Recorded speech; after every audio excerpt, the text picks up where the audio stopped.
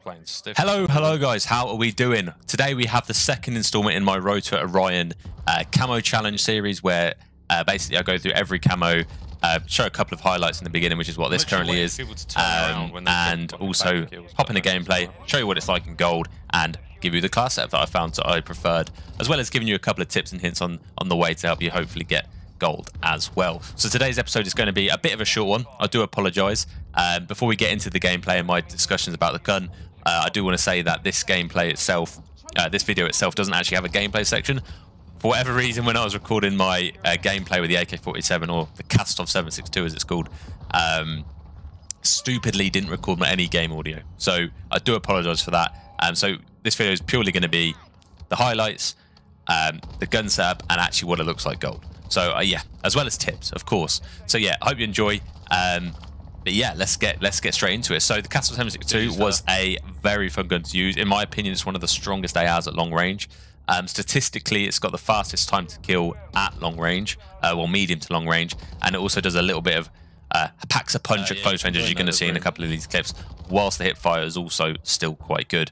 Um, I do want to warn you guys, a lot of these clips in here may be me mounted up because mounted kills were one of the challenges you needed to get to gold in this game uh, on this gun.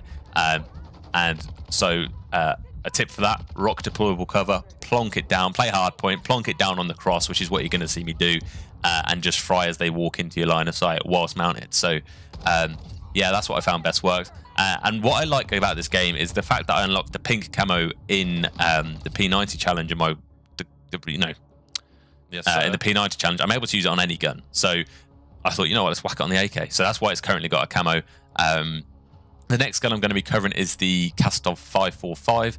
Um, I think I think there's audio on that one, so fingers crossed we can actually get some decent gameplay for that. So I do apologise for the abolish, like the appalling, Yeah, appalling quality of this video um, because of the no audio. But hey, you got me talking Give over it. Fuck. Uh, you're probably thinking, yeah, that makes it worse. But yeah, anyway, um, tips for this gun, I would say, is do not like you've got to be. It's quite a long ADS time Yeah, and sprint fire time, so you, which is why you're going to see me playing fairly passively. Um, I think this game here is where I started to try and get mounted kills, which is why you see me chance mounting up fairly often like this.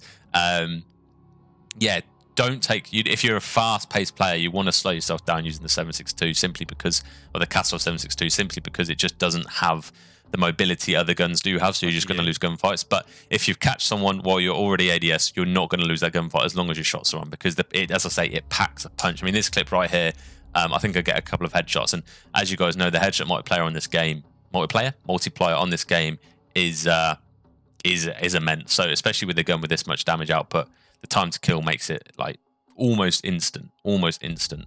Um, it's fun on S and D as well. It's good for S and D. Obviously, you don't really want to level up your guns on S and D because it's slow.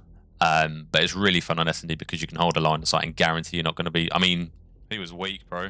look at that. Oh, look no. at that. Um, I mean, this is another nuts clip where I get just like the bullet penetration as well as pretty high with this. So I did run seven. I did run FMJ at some points in this, um, simply because you could just wall bang anything, as a AK-47 is famous for.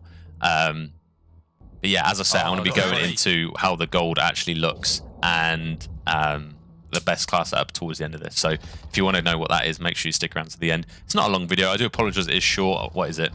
Like a seven, eight minute long video. Um, typically, my videos would be a little bit longer than that, and the main reason for that is simply due to the fact that I mean, look at that. I barely put any in them. Um, the main reason for that is simply due to the fact that I don't have the gameplay. So yeah, is what it is. But hey, um, it's one installment in the series. The best, the rest will be better. I promise. I promise the rest will be better. So yeah, this was that Oh, was an OP little spot. So this is essentially what you want to do if you want to get your mounted kills.